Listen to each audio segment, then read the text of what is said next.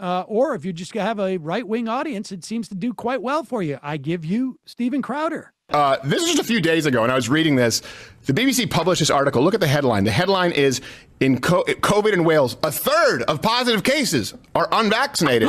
oh, no. Wait. That's a strange way to say two thirds of positive cases are vaccinated. Yeah. It really is. It's, they like to pepper up the Wait, headline. the vast majority of cases are vaccinated, you say? But and the- did you hear me? What I said? And, and, the- and- Unvaccinated. and by the way, the headline doesn't really make sense. You have to read the article because it, it goes into more detail, and it actually seems like they're, the numbers may not even be accurate in the title. But it says Yeah. 45% of cases are among the vaccinated, 20% they don't know. Oh, okay. But 80% of hospitalized patients in Wales are vaccinated. what? Hmm. Whoa, 80% of hospitalized patients are vaccinated. And they'll say, well, it's because most of the population is vaccinated. It doesn't matter. It doesn't matter. You don't talk matters. about that with measles, mumps, rubella. You don't. If the vaccine works, it doesn't matter if 95% of the population is vaccinated and they make up only 85% of the hospitals. It sucks. I'm just curious. You just said that one third were unvaccinated. That's confirmed. 20% are kind of in the wind. We're not sure. And you're telling me 80%. That's what matters. In the hospital. No, 80% are in the hospital with one third unvaccinated. So it doesn't matter if you think your entire country is almost vaccinated. They're not because one third's not. Yeah, it doesn't make any sense. Does not make any sense. A terrible. It's just a very interesting way. This is where you have to read articles, and I'll be working on a project to hopefully help people with this. Our links are in, in, oh. in sources; Okay, they're all available right, in the pause it for a description. Yeah, you really do need to read the article. In fact, mm. let's do that. Let's read the article and assess how how uh, either a disingenuous Steven Crowder is or stupid, and how, without a doubt, how stupid his producer is, who doesn't seem to be able to do any of this. Let's read this article and understand COVID 19 in Wales. A third of positive cases are unvaccinated. A third of positive cases. So um, let's assume, okay. So the figures showed here 99% of people who tested positive for COVID in the past week of Wales were under 60. Of these, 37% were unvaccinated. Okay. So here's, let me, let's just work that out for a second. 99% of the people who tested positive for COVID in the past week were under 60. So you've got 100 people who are COVID positive. 99 of them are, uh, are under 60, and only 37% were unvaccinated. So that means that, let's just call it uh, all 100 were under 60. So you had 63 were vaccinated, 37 were unvaccinated. But what is the vaccination rate of of Wales? It's in the next. uh Yeah, here we go.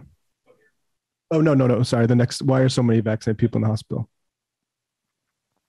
Well, the sheer number of vaccinated, nearly 95% of over 60 and either and 84% under 60. Okay. So, you have two groups of people. You have the 100 people who have COVID and 63% of them are vaccinated.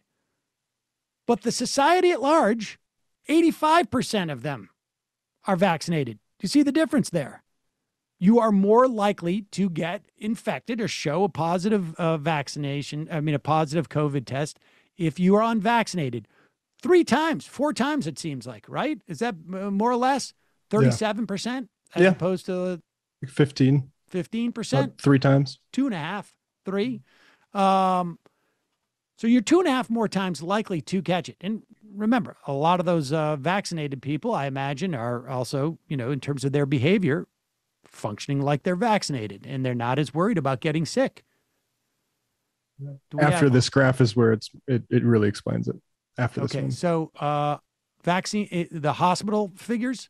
Yeah, right. Just scroll down to that. Right. So The red graph. hospital admissions between fully vaccinated and unvaccinated. Over 60, fully vaccinated, over, oh, I see, okay. Unvaccinated, the over 60 rate is huge. Vaccinated is half that. So you can see you have twice as, if you are over 60 and you are unvaccinated, in Wales, you are twice as likely to get into the hospital with COVID. If you are under 60, you are almost four and a half times more likely to go into the hospital if you are unvaccinated. Yeah, Wales has an insane vaccination rate. Like like you said, 85% for the under 60. The 16 to 17 year olds are like 70% for the whole state. So that's again, that's more er, or 70% is 30%. They're saying a third of the people in the hospitals are unvaccinated. So you can see vaccines work. And and to be clear, I don't know, maybe uh, Crowder rails against flu vaccinations each year, but f- the flu vaccination rate is much, much less effective. And Yeah. it still helps society. Did you see that uh, stat that they wrote out beneath there, broken down the hospital admissions rate for under 60s is 3.5 times higher for unvaccinated people? Did you, or I, yeah, okay, never mind. I mean, but there it is. And and so uh, Crowder says uh, to read the article. We did. Yeah. Apparently, I don't know if he read the article. If he did, he's just lying. His producer just His producer definitely didn't. understand The the dynamic. Right, right. I think that they just read the headline and then they see that it's able to fit into their narrative, and they, do, of course, don't have any interest in looking at the gradations. I remember a story by Rush Limbaugh that he was reading, which was clearly like that. His producers had pulled this thing.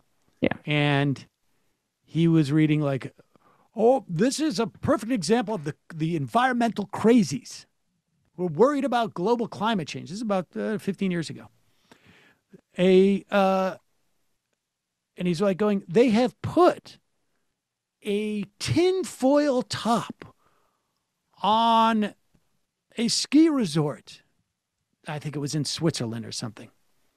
And this is how crazy these environmentalists are because of supposed global climate change.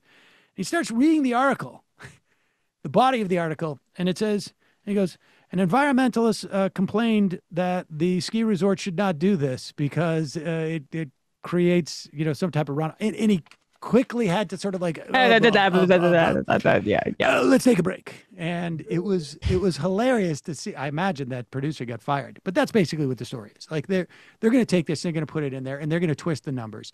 And the idea that you have a vaccine that inhibits um, uh, hospitalizations, inhibits deaths, and inhibit infections, hundred percent no. Even if it's like 35, 45, 55% better, you get a better chance. If it's not, you know, four and a half times more likely that you are going to get COVID, um, that is a benefit of a vaccine. And then when you contemplate what is the downsides of that vaccine, what are the risks? Um, you know, you get a reaction. Maybe you don't feel well for a day or two. That uh, that shingles uh, vaccine that I took that knocked me out for like Yeah, that, that messed you up a bit. You feeling all right now? Yeah, still sore over here though. It's and that's a week later.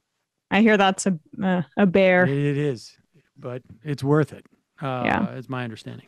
Um, that's Crowder for you.